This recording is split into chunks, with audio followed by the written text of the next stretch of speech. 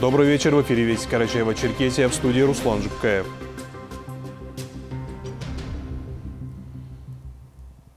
Глава Карачаева-Черкесии Рашид Тимрезов встретился с атаманом Кубанского войскового казачьего общества Александром Власовым и атаманом Тесского войскового казачьего общества Виталием Кузнецовым. По поручению полпреда Юрия Чайки встретились в таком формате впервые. Обсудили вопросы взаимодействия и расширения связей органов власти и войсковых обществ в реализации стратегии государственной политики в отношении российского казачьего общества до 2030 года, утвержденного президентом страны.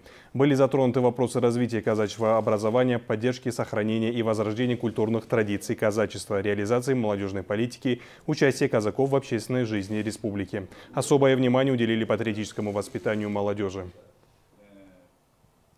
Затем руководители региона и атаманы рассказали представителям республиканских СМИ о важности встреч в подобном формате, о возможных вариантах сотрудничества. Сегодня мы видим, что э, казачество активно принимает участие и в специальной военной операции, и сегодня э, каждая из войск очень э, большую, огромную работу проводит и в э, гуманитарном плане. И эта работа проводится там, не как-то перманентно, а ежедневно. И каждый из атаманов много раз уже и выезжали, и были на месте, координируют там определенную работу. Но э, здесь, наверное, мы сегодня больше говорили о, о молодежи, о патриотическом, патриотическому воспитанию нашей молодежи, о тех планах и задачах, которые мы можем совместно реализовывать э, вместе с органами государственной власти. Сегодня э, казаки Баталпашинского отдела принимают участие в специальной операции на Украине и в составе добровольческих отрядов, и в составе воинских частей на должностях офицеров, сержантов, прапорщиков и солдат. Ну и взаимодействие с правоохранительными органами Конечно же, мы сегодня обсудили этот э, вариант э, организации несения службы. Конечно же, мы над этим поработаем. И действительно, перспективы по развитию у нас э, есть. И у нас, безусловно, есть поручение президента Российской Федерации об обеспечении стратегии. Сегодня мы об этом говорили. Мы сегодня говорили о развитии государства службы казачества. Мы говорили о развитии экономической деятельности казачества о статусе атаманов, которые здесь э, находятся на территории республики. И, безусловно, говорили о развитии молодежи.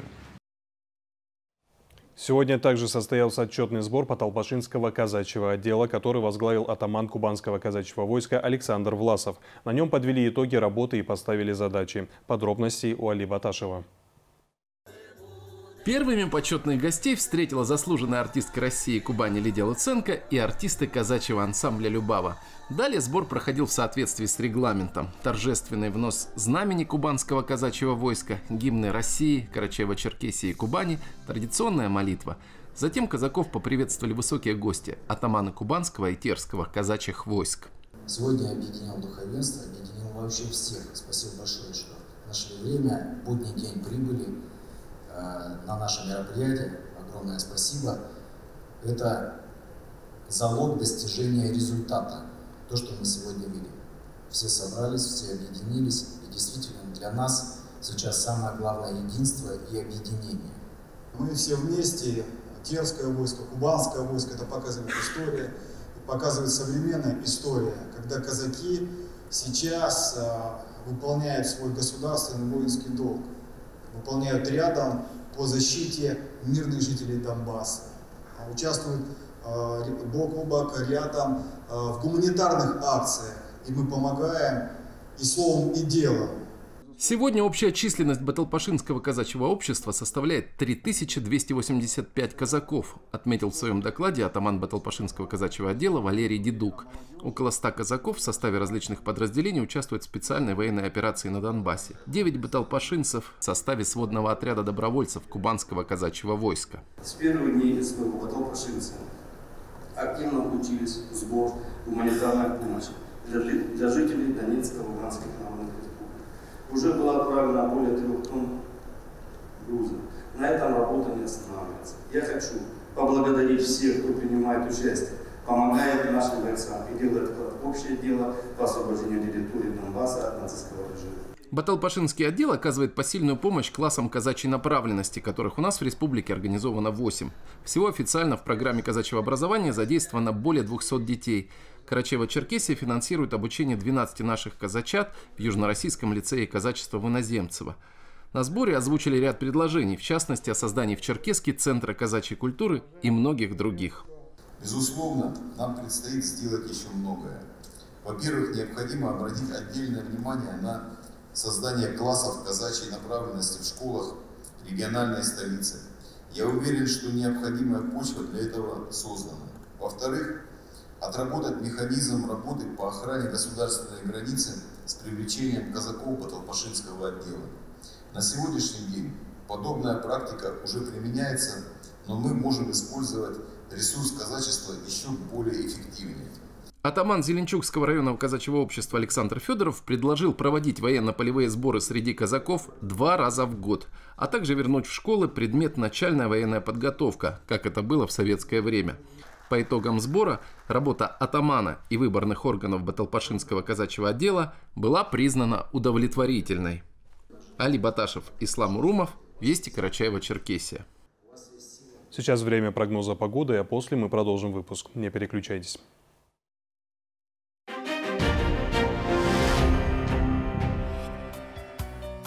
В Карачаево-Черкесии ночью преимущественно без осадков, днем в горах местами кратковременные дождь и гроза.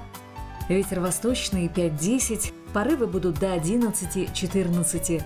Температура ночью 11-16, в горах до плюс 9, а днем 27-32 градусов тепла и местами до плюс 24. В Черкеске без осадков, ветер восточный 5-10, порывы до 14. Температура ночью 14-16, днем 30-32 градусов тепла. С 18 июня по 17 июля в Кисловодском цирке спектакль «Клоун», посвященный столетию Юрия Никулина. 2 96 58. Категория 0+. Окна в рассрочку. Оконный комбинат. 8 938 333 92 0. Народный артист России Юрий Куклачев и его потрясающие кошки. 17 июля. Черкесск, Зеленый остров, амфитеатр. Билеты в кассе и на сайте билетик.про.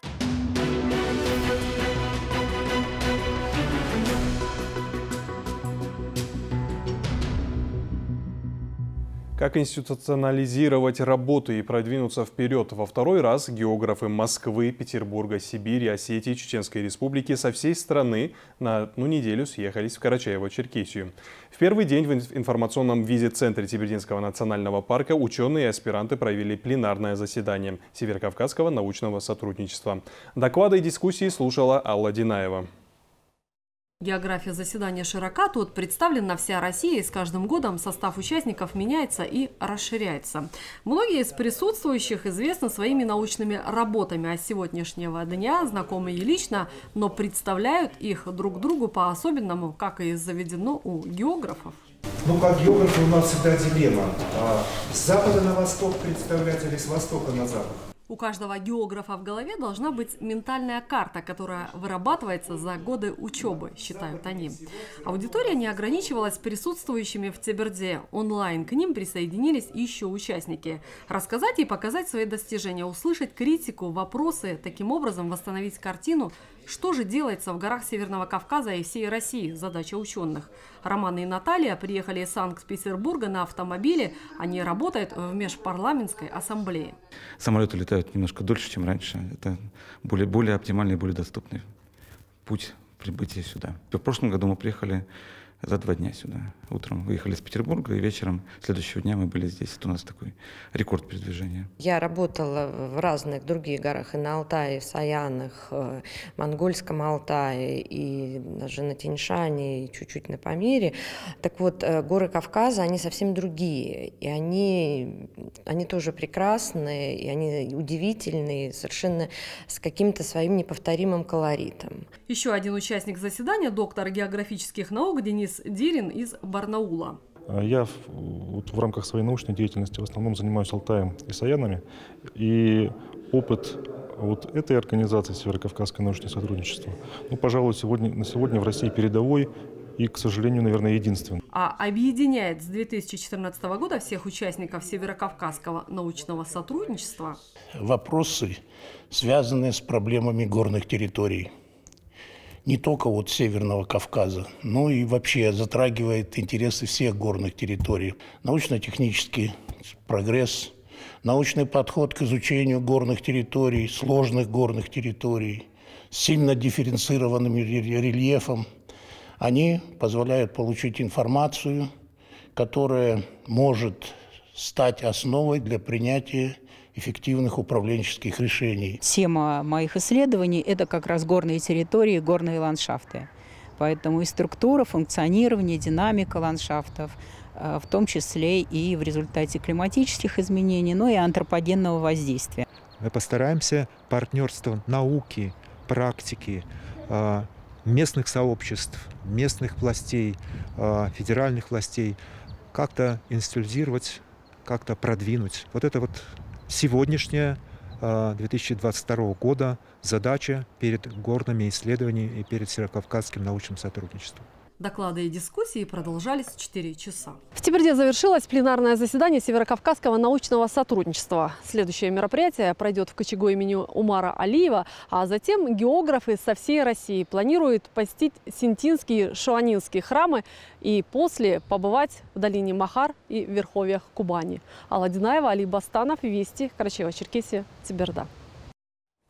Они защищают права и интересы граждан. В Архизе адвокаты республики отметили День образования адвокатской палаты Карачаева-Черкесии. В торжественном мероприятии приняли участие представители защиты, а также гости из разных регионов СКФО и городов России. Подробнее расскажет наш корреспондент Алихан Лепшоков. Каждый год в профессиональный праздник адвокаты подводят итоги своей работы, поздравляют коллег и награждают лучших работников за успехи в этой сфере деятельности.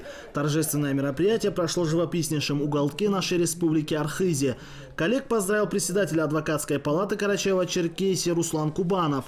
Он подчеркнул, что подобные встречи сплачивают представителей адвокатского сообщества у нас в регионе. Мы отмечаем день основания нашей адвокатуры в Карачаево-Черкесии, она была основана э, в 1991 году в связи с тем, что Карачаево-Черкесия э, образовалась республика. В соответствии с этого мы вышли из э, коллегии адвокатов Ставропольского края. Это была последняя суббота июня, и мы примерно в эти сроки каждый год традиционно отмечаем свой праздник, на который собирается ну, большая часть всех адвокатов. В ходе торжественного мероприятия отметили почетными грамотами работников защиты за верность адвокатскому долгу. Также представители адвокатских палат регионов Северного Кавказа и городов России поздравили адвокатскую палату Карачаева-Черкесии и вручили ведомственные награды. Адвокаты нашей республики занимают достойное место в рейтинге юридического сообщества страны. Карачаева-Черкесия, она как-то особнячком во всей адвокатуре Юга России. Это высокий профессионализм адвокатов, которые вот здесь работают. Вот их особо нужно отмечать и отметить. И мы всегда об этом говорим на уровне российском, в Федеральной палате, что именно в Карачаево-Черкесии работают высочайшей квалификации адвокаты. Вот это хотелось особо отметить. И, конечно, когда я получил приглашение сегодня сюда, к вам, в Карачаево-Черкесии с удовольствием, с огромной благодарностью принял это приглашение. Адвокатская палата сплачивает всех нас, и отрадно сегодня видеть, что нашу работу высоко оценивают. Мы стараемся оказывать правовую поддержку людям, говорят представители защиты. Хочу поздравить всех своих коллег с профессиональным праздником. Э, для многих мы адвокаты остаемся последней надеждой для того, чтобы реализовать свои права и защитить свои интересы. Желаю всем коллегам в дальнейшем профессиональной деятельности с гордостью нести звание адвоката. Хочу поблагодарить наше руководство, а именно президента палаты Купанова Руслана Борисовича, Карабашева Мурата Ануаровича, Хасанова Мурата Хасановича, а, которые создают все необходимые условия для нашей нелегкой работы. А, зная, какие люди у нас в руководстве, мы уверены, что всегда можем рассчитывать на корпоративную защиту. Также от адвокатской палаты Адыгеи медалью за верность адвокатуре отметили председателя адвокатской палаты Карачаева-Черкесии Руслана Кубанова. Алихан Лепшоков, Роберт Джигутанов, Вести, Карачаева, Черкесия, Архыз.